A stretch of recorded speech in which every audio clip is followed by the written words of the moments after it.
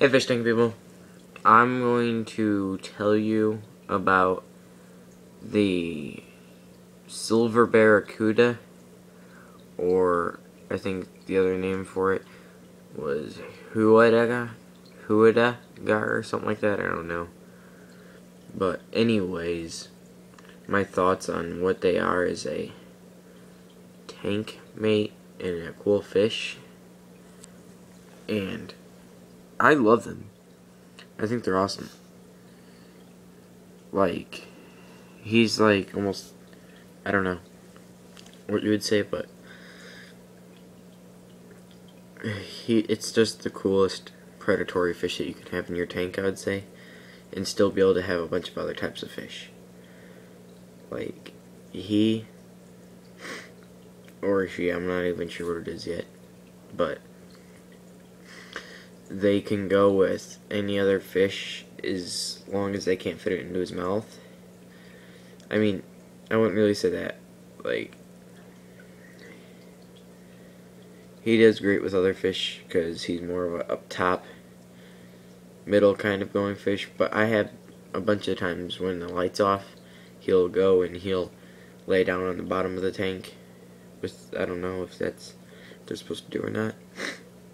But anyways, I read they don't get more than 9 inches, maximum 9 inches. So it's a cool fish to have for a small tank too. And I read on like fishforums.net or whatever, this one guy had one for like three and a half years and it was still only 5 inches. So, yeah, it's pretty cool. And they have just awesome color.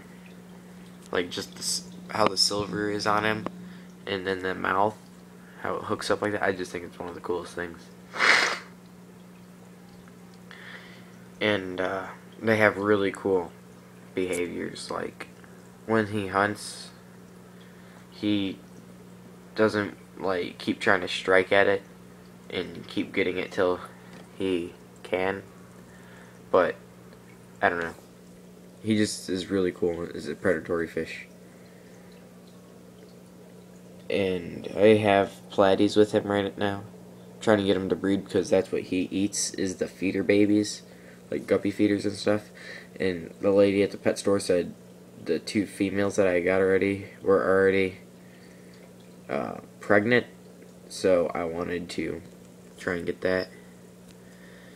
But uh, my tank's pretty bare at the moment. I'm getting more plants tomorrow, but and I will do an update when that happens. But yeah.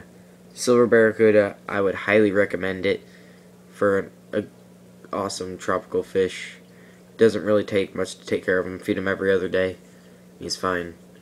Alright, thanks for watching. Subscribe, rate, comment. Tell me what you think. Thanks.